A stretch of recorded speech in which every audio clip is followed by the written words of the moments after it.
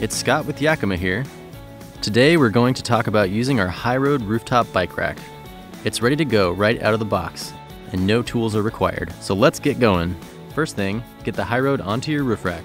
The mounting system is universal, so HighRoad fits most crossbars. Align the front mounts with your front crossbar. Now, slide the rear wheel tray back to gain access to the top of the rear mount. Slide the rear mount to align with your rear crossbar. Slide the cover of the rear mount open.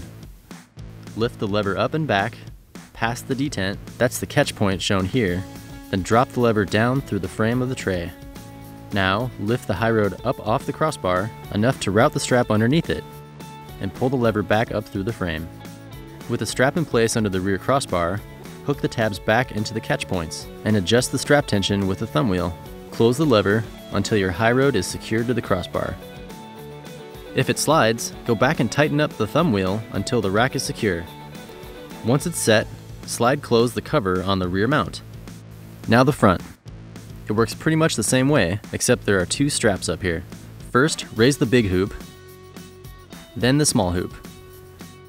Slide the front covers back, both of them, open the levers and lift them up to clear the detents, and drop them through the opening.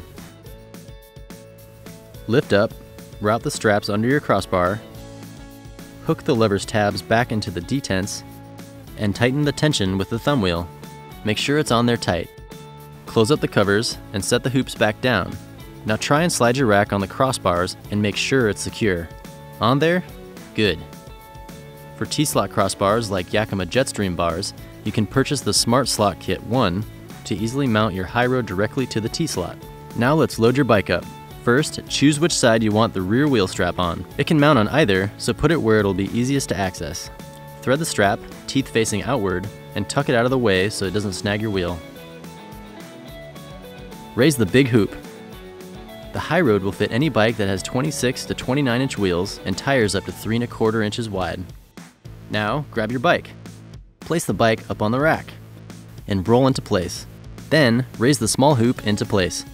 You can avoid frame contact by lifting the small hoop with one hand while rolling the front wheel toward the big hoop. Now, tighten the TorqueRight knob until you hear a clicking sound, like a gas cap. Secure the rear wheel by sliding the rear wheel tray so it's underneath the wheel. Then thread the strap between your spokes and through the buckle. Pull on the strap to tighten. Want to lock it up? Easy, just purchase two of our SKS lock cores. Then, install one in the tail whip cable and run it under your roof rack's crossbar, then up through your bike frame, locking it with your SKS key. Add the other SKS lock core to the rear crossbar mount to secure the HighRoad to your crossbars. You can add extra security for your bike when your vehicle is parked by threading a U-lock through the opening in the small hoop and around your bike frame. To unload, just release the rear wheel strap, tuck it away, support your bike, release the knob, lower the small hoop, carefully roll your bike back out of the big hoop, and bring it on down. Removing the HighRoad for storage is easy. Slide open the front mount covers, undo the two straps, slide open the rear mount cover, undo that strap, lift, and store. That's it. It's as easy as one, two, go.